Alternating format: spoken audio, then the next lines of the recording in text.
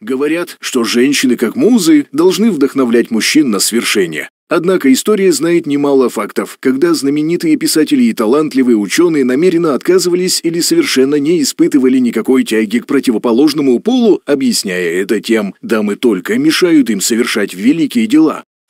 Нужно очень постараться, чтобы отыскать упоминание о женщинах в жизнеописании Гоголя. Уж слишком явным был физический аскетизм писателя. Однако в возрасте 20 лет в одном из писем матушки Николай Васильевич упоминает о неком ангеле-божестве, комментируя этот факт. Биографы склоняются к версии, что Гоголь просто выдумал себе предмет обожания как предлог, чтобы уехать за границу. Еще один эпизод в жизни писателя связан с именем Анны Вельгорской, с которой Гоголь познакомился в Петербурге. Скорее всего, он сделал ей предложение и, получив отказ, надолго забыл о женщинах. Некоторые объясняя отсутствие физического влечения к противоположному полу Николая Васильевича. Пытаются приписывать ему угнетенную гомосексуальность, но подтверждать этот факт только из-за того, что писатель ценил крепкую мужскую дружбу. Нерационально.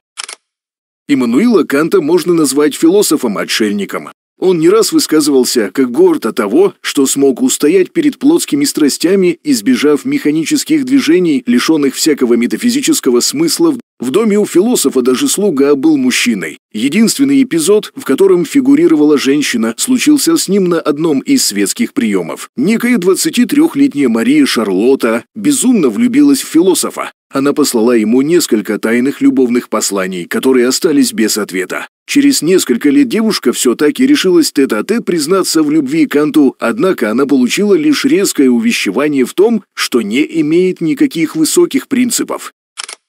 Исаак Ньютон стал еще одним известным мужчиной, принявшим научный целебат. Великий ученый не раз акцентировал внимание на своей победе духа над плотью и полном воздержании от физического контакта с противоположным полом. Однако не стоит утверждать, что Ньютона совсем не интересовали женщины. В одном из своих писем он отмечал, как ему сложно бороться с искушением плоти. Всю свою энергию Никола Тесла направлял только на научные изыскания. Он считал, что женщины необходимы для вдохновения только художникам, композиторам или поэтам, а его они будут только отвлекать от решения глобальных задач. За намеренный отказ от сексуальных связей с женщинами журналисты назвали Теслу одиноким волком.